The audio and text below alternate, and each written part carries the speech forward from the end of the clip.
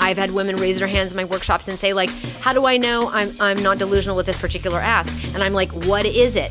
You know, and and she'll tell me, and I'll say, great, explain it to me. And if she can explain it, she can ask for it. And in fact, I have yet to hear an ask that is not explainable.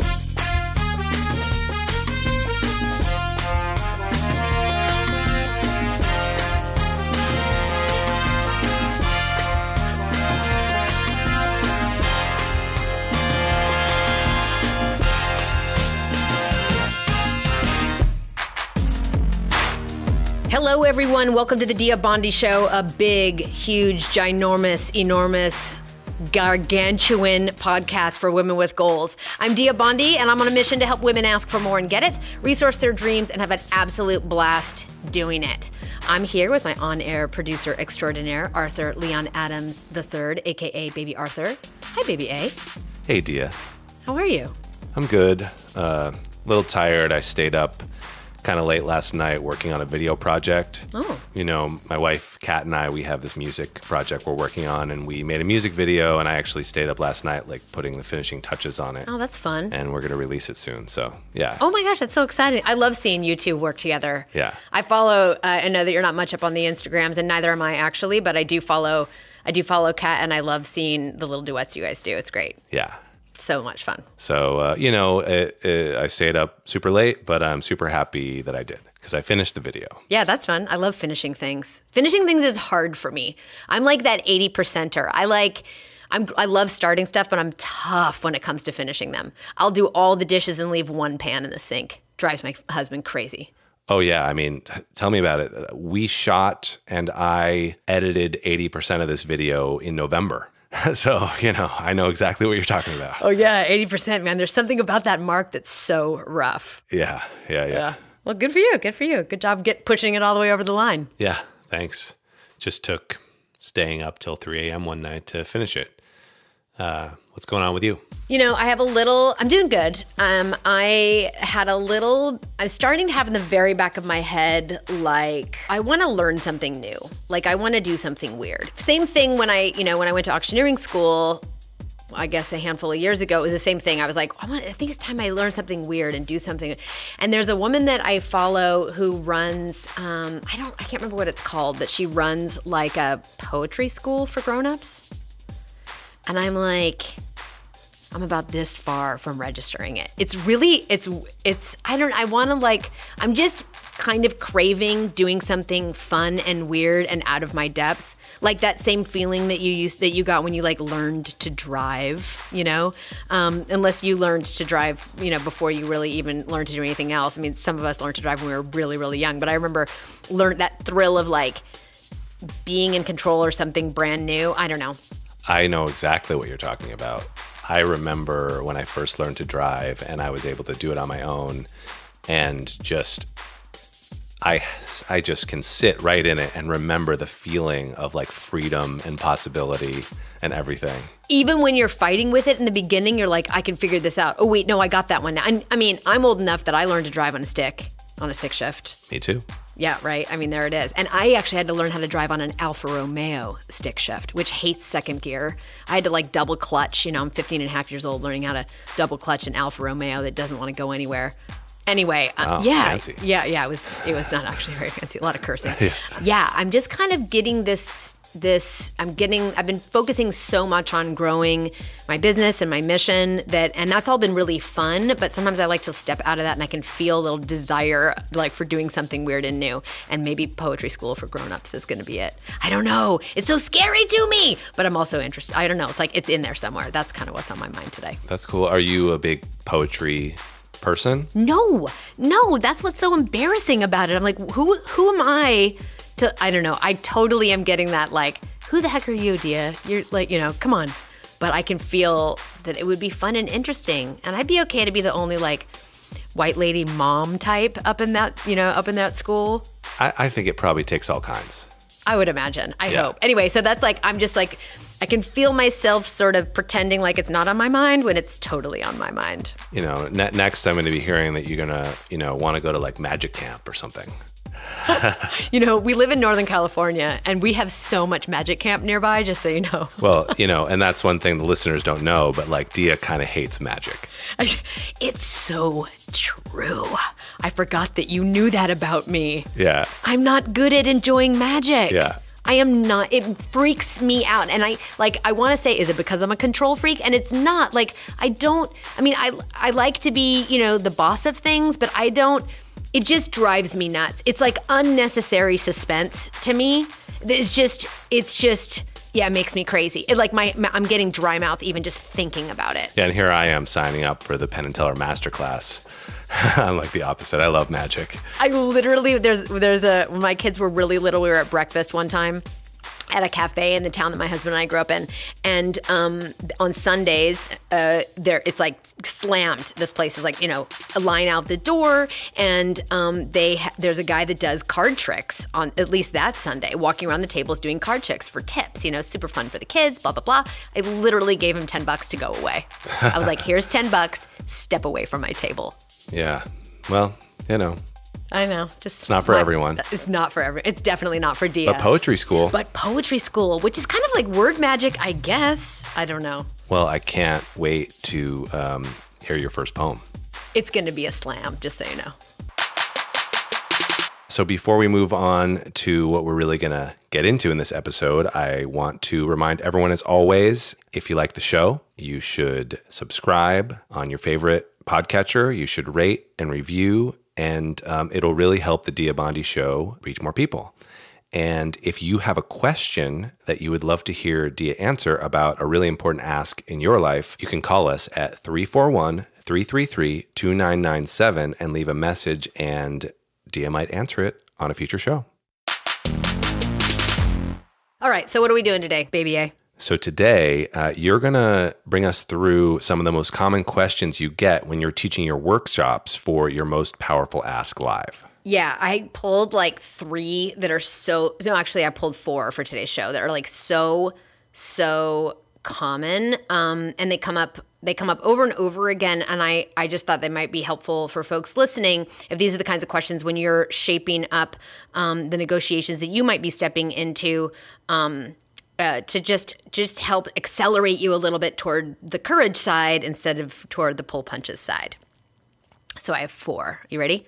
Let's do it. Okay, so I've got a handful of questions here, four actually, in no particular hierarchy, but I'm going to start with this first one, which is so so common um, in the Q and A's and in the live coaching portion of my workshops and keynotes, um, and that is, what if the ask that I'm making that I'm about to make, the amount, whether it's a salary request or an investment or some sponsorship or mentorship from somebody who feels out of your league, etc. What if the ask I'm making is actually delusional?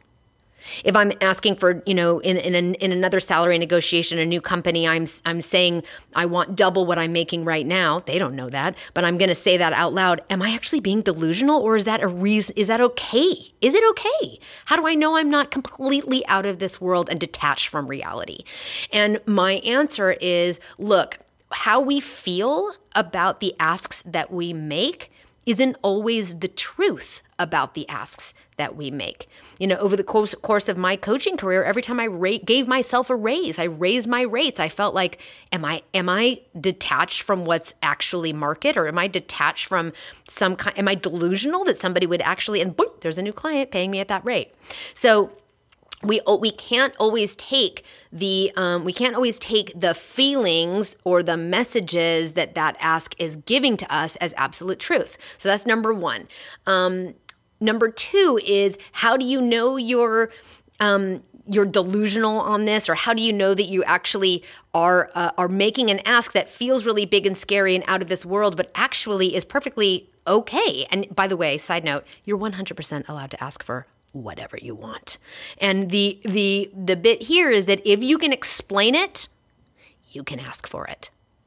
I've had women raise their hands in my workshops and say like, "How do I know I'm I'm not delusional with this particular ask?" And I'm like, "What is it?" You know, and and she'll tell me and I'll say, "Great, explain it to me." And if she can explain it, she can ask for it. And in fact, I have yet to hear an ask that is not explainable. The moment I hear a woman explain to me her ask, her why, um, that in and of itself is wildly confidence building. And the explanation can be as simple as, well, I've been at this consulting rate for three years, and it's it's time. My it, this year, my rates are going up. Like it can be an explanation just that simple. If you need to tell a big, huge, robust um, story that feels like you're putting yourself on the defense, then um, it may not be necessary. If you want to test your explanation, do it. Try to try to explain it in half as many words or a third as many words, and see if you can do that. And that may be actually the confidence building activity you can do to help you find the courage to actually make that ask and not preemptively lowball yourself. So that's number one. The second question I get often is what do I do if I get a no? And there is no way ever me or anyone else can really give you that answer, but I can instead offer you another question back, which is great question. What are you going to do? Inside of the question, what do I do if I get a no? There's a little bit of a should in there. What should I do? What's the best thing to do based on some what industry standard of reacting to a no? It, this is such this is so contextually yours. You get to you get to answer the question. If I get a no, what do I want to do? Do I want to quit? Do I want to stay for two more, you know, promotion cycles? Do I want to find another role inside my organization? Do I want to, um, you know, confront the the no giver? Do I want to you have lots of choices and you can in fact list them out and say which one of these do I want? Which one makes sense for me at this moment, in this context, in this situation. And you get to choose. What's beautiful about asking the question, what do I want to do if I get a no? Is that the no that you get doesn't become the thing that holds your goals hostage. You just get to look at it and say, if I get a no here, here's my plan. And now it's just a moment in time, not the thing that stops time for you. So when you when you are looking at make a big a, a courageous ask that you feel has a threat to get a no that can't turn into a negotiation, but it's an absolute no, or the negotiation that you're going to get back won't actually meet even your minimum requirement or your what we think of in auctioneering as your reserve. If you have a plan of what you're going to do, you're going to have a lot more freedom and again speaking of courage making activities like the earlier question around you know if i'm how do i know i'm asking for too much? If you can explain it you can ask for it. That's courage making. What do i do if i get a no? If you can answer the question what do i want to do if i get a no? And and have a plan for that that also can be wildly courage making. So those are the those are the two that that show up a lot. Question 3 is how do I ask so that I don't fill in the blank? How do I ask so I don't come across as greedy, so I don't come across as too pushy, as I so I don't come across as too bossy, so I don't come across as come across as come across as, you know, unappreciative, like whatever the thing, fill in the blank. This one comes up a lot, and actually, the first time I ever shared the core concepts of Project Ask Like an Auctioneer was in a 20-minute talk I gave to a group of 65 women, and when we went into Q and A, I had never heard anybody react to the ideas ever. And it was a, you know, I've been a leadership communications coach for years, which implicitly has some asking and negotiating, you know, business request pitching inside of it, but not I had never come come at this directly from the world of like asking for more and getting it, just specifically with that lens on it. Um, I had a, I, a woman raised her hand in the back and said, "I love all this content. How do I ask so that I don't get seen as?" And I don't even remember what the what the thing is. She filled in the blank, and I stood in front of the room, and I was I, I was like, "Okay, Dia, you have a choice. You can help this woman." twist herself into a pretzel position balancing on one you know one toe trying to please everyone while she's also trying to advocate for herself or you can tell the truth, which is look, side note, sure, there's lots of storytelling techniques that you can use, and we'll explore that on this podcast to help you set up a powerful ask so that it can be as successful as possible. But that is an offensive move, not a defensive move of how do I do this thing without leaving a certain impression that we don't always have control over. The choice that I made was to tell her the truth, which is I am not here to help you be, be, even more uncomfortable, to twist yourself into a position where you are so out of balance with who you are, where we're trying to accommodate everybody else's expectations of us so much. I'm done with that. Instead, you get to ask for what you need with authenticity, with generosity. You can ask with gratitude and courage and all the things that make you, you know, in relationship with the person that you're, the person or entity that you're making the ask of. But to expect us to constantly manage other people's impressions of, of us in a way that makes it impossible for us to just speak from the heart and speak our truth is not something I want to help women do. So, my answer for you is basically don't. You know, bring to your ask all of those things I mentioned your authenticity, your gratitude, you know, the best story you can put together. But ultimately, you will be too much for some people. Those are not your people. And that is perfectly okay. If you go back to the previous question, what do I do if I get a no? Okay? Or what if i what what do i do if i get a no? If you have the answer to and if i get a no or they don't like it i've got myself a plan. And so this becomes a moment in time not a thing that stops time. The fourth question i get a lot which is sort of underneath all of this which is how do i get the confidence i need to go make the ask that actually matters? And um this is interesting. I draw on my 20 years of leadership communications coaching where I'm helping folks, you know, find the courage to speak from the heart on stages. You know, you think about helping folks uh, tell a story in front of an audience is like, you know, you're dealing with stage fright and imposter syndrome and all the stuff that comes up when everyone's watching and listening, right? When you're the only one mic'd up and you're broadcasting your own story across an audience. Um, and that is, we confidence is an outcome of action. It's it can't be a prerequisite. My clients in communications want to feel confident enough to be a great speaker on stage or in front of a, a high stakes audience. And yes, I want that for, for them. But that comes with rehearsing, that comes with getting a powerful story together and speaking it until it feels integrated into who you are.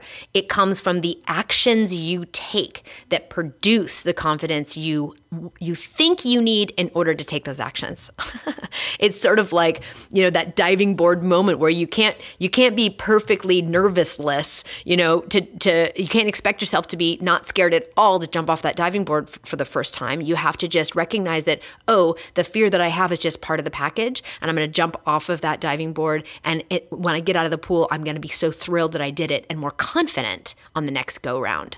So we have to kind of flip the script on that that we don't always, yes, we need enough confidence to do it. I get that. But it's more like we need courage and less like confidence. We need courage to act. And from that action, we produce more confidence, which rolls into the next ask that you need, which can be more courage producing, which lets you do make more action, which produces more confidence. And pretty soon you're running on the belief on the belief that if I just act, I will get the confidence I need to do it again.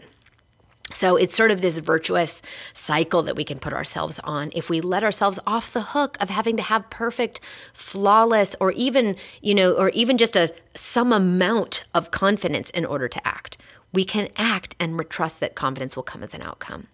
Um, and actually, I wrote I wrote a short article about this called "The Confidence Trap" that we published on um, an op-ed we published on on um, Adweek 360, and I'll put the link to that on um, in the show notes as well. We called it I called it the, the confidence trap. So so these four questions are the most common questions, and I imagine that maybe one of these four questions are ones that you're asking yourself as you look at the negotiations you'll be making on the behalf of your dreams right now. And um, and so here I'm just going to review really quick. If you if you're asking, how do I know that this big huge ask I'm making isn't isn't unreasonable, that I'm not being delusional? Here's here's here's your homework. Ask yourself and you can write it down or tell it to a friend. If I can explain it, I can ask for it. So try to explain it and if you can, you know you can ask for it. The second, what do I do if I get a no? Here's your homework. Answer the question, yeah, what am I going to do? And have yourself a plan. You'll have yourself more courage to make that ask. Three, how do I ask so that I don't fill in the blank, um, leave a certain impression? You're going to do your best with all of your courage, all of your authenticity, all your skillfulness, all your stories telling, all of your courage. And ultimately, you will be too much for some people. Those are not your people. So you don't have to twist yourself into a pretzel. And fourth, how do I get the confidence to make the asks that can change everything? And my answer to you is you can act first and expect that confidence will follow.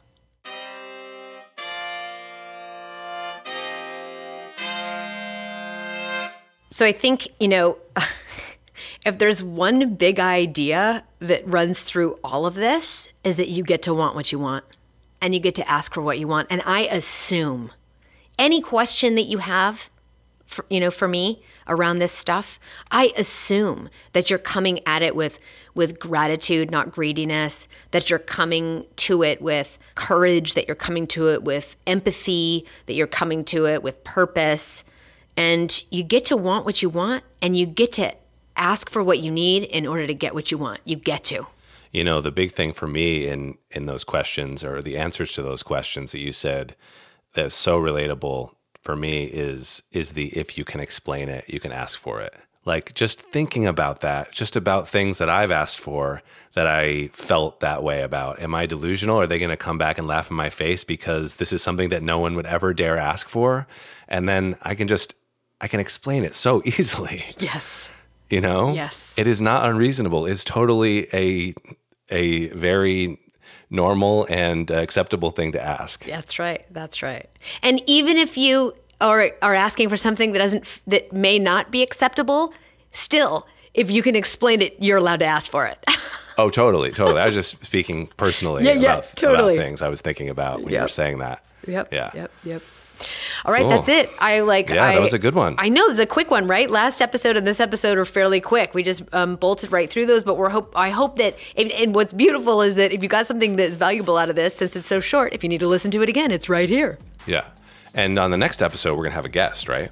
We are. I'm so excited and kind of nervous, actually, but I'm I'm yeah. really excited. Yeah, she's she's she's completely awesome and is um, the, the conversation will not specifically be about asking so much, but it's about the infrastructure we put around ourselves so that we can um, work toward our goals and um, find the courage that we need to do that.